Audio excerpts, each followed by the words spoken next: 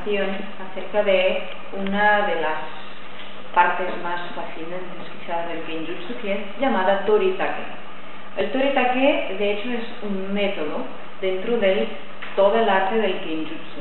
Y por lo tanto veremos dentro de este método unas características específicas que hasta podríamos ah, clasificarlas como Heiko, dentro de, lo, de la perspectiva de que lo que es la estrategia.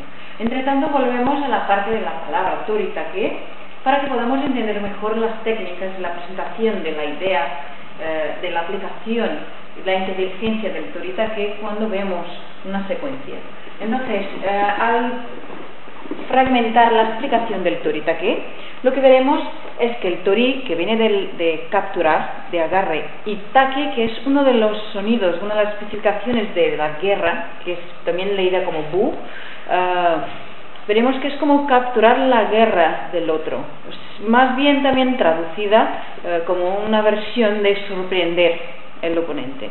Eh, en ese caso, en la explicación del kanji, lo que veremos en, el, en la parte de bu o take es la, el desmembramiento de sus significados. La parte superior, que significa la, la lanza china, o también es una otra, una otra designación para armas, y la parte inferior, que es el tomeru, que es como parar. Entonces aquí lo que vemos en el todo el kanji completo, eh, veremos como parar las armas o parar eh, lo que es la lanza y por así se ha extendido al concepto de guerra.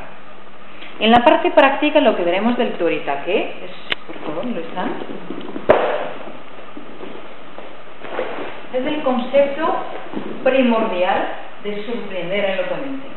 Muchas veces, dentro de lo que clasificamos la estrategia del toritake, conducir el oponente hacia una postura o hacia una situación en que yo pueda aprovechar del, del ventaje que me va a dar para entrar lo que de hecho es mi intención.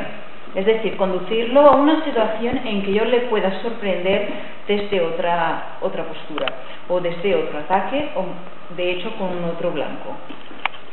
Entonces, lo que vamos a ver aquí son dos técnicas que precisamente son la primera y la segunda técnica del Gohome de Toritake, Kenjutsu, para ejemplificar lo que hemos visto como ah, maneras estratégicas para sorprender al oponente.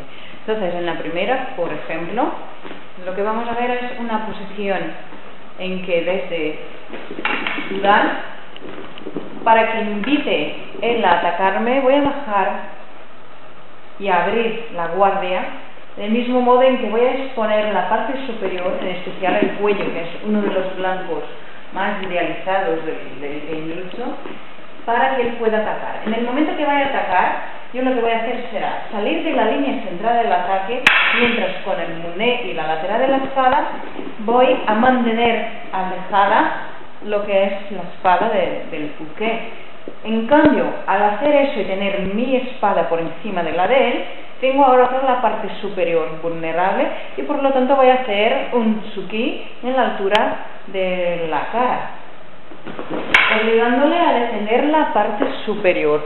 En ese momento, al defenderse rápidamente de ese ataque, tengo ya todo el costado vulnerable para lo que es la técnica final del torita que atinge el área de las costillas también llamado a Barabone Giri.